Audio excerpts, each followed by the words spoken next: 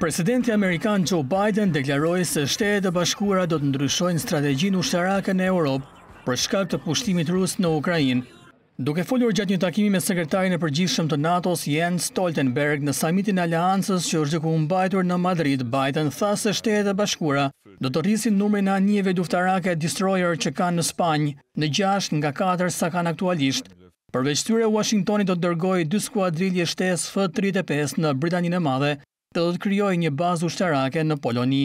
Aleanca është më e nevojshme se kurrë më parë, deklaroi Biden, duke shtuar se NATO-ja do të forcohet në të gjitha drejtimet, në tokë, ajër dhe det. Stoltenberg deklaroi në nisje të ditës së dytë të samitit të NATO-s se aleanca po përballet me sfidat më të mëdha që prej Luftës së Dytë Botërore, pas nisjes së pushtimit rus në Ukrainë, duke shtuar se Moska përbën kërcënim të drejtpërdrejtë për sigurinë e vendeve anëtare të aleancës. Stoltenberg tha se aleatët po takohen në kohën e krizës më serioze, duke shtuar se samiti është historik dhe transformues.